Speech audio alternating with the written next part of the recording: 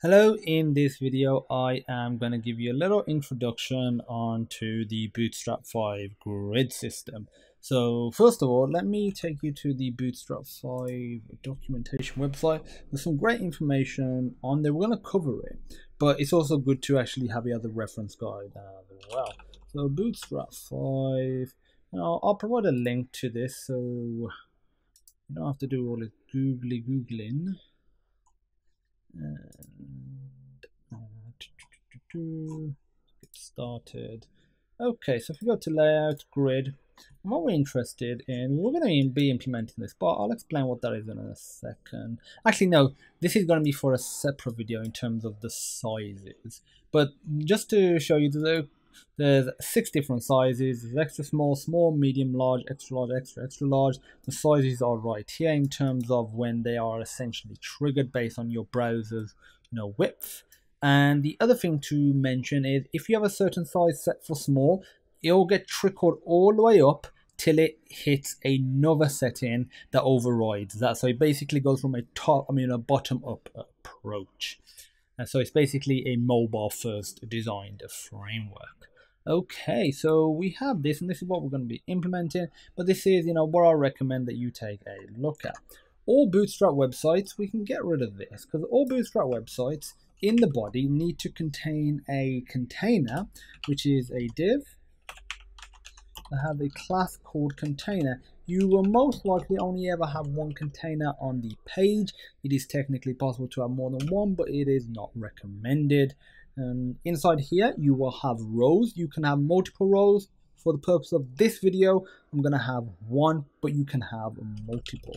So row, as the name suggests, it is sort of a horizontal layout though it can expand vertically as well depending on how many columns there are which I'm going to cover in a second. But I'm going to cover in separate video like I said multiple rows and they're great for grouping you know similar types of content. So they you know are responsive together.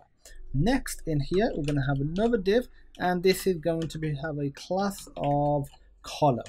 And in here is where your data goes. So you have a container more than one row potentially or at least one and then at least one or more columns. So you put col dash then I'm going to put sm which is small. But again I'm going to cover all the grid sizes in a separate video so just bear with me for this.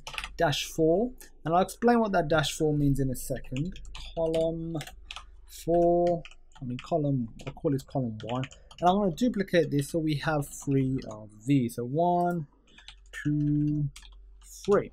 So if I go back, reload web page, this is what we get. If I was to resize it, it still, you know, sticks to three different ones until I get to a point where it is too small and it's gone on to the extra small size and now it's all on one single line. So if a particular size hasn't been specified, aka SM for small or XL for extra large, something like that, then the amount of columns it should occupy for that size, then what will happen is it will occupy 12. 12 is the full width of the container.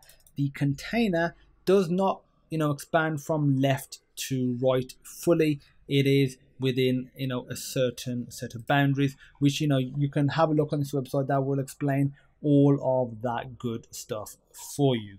And yeah, that's pretty much all you need to know in terms of just the basics of the grid system. So this is the basic grid layout. You have a container, a row, and columns inside of it. So you generally don't have columns without a row. You don't have a row without a container. And yeah, this is basically the way it works.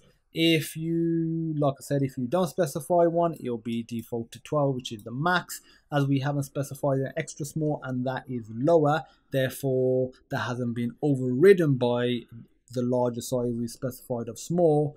It gets 12, hence why when we resize it, they're all on individual. I don't want to say rows, let's say lines, because rows, they are you know, a separate feature. But that's really it for this video.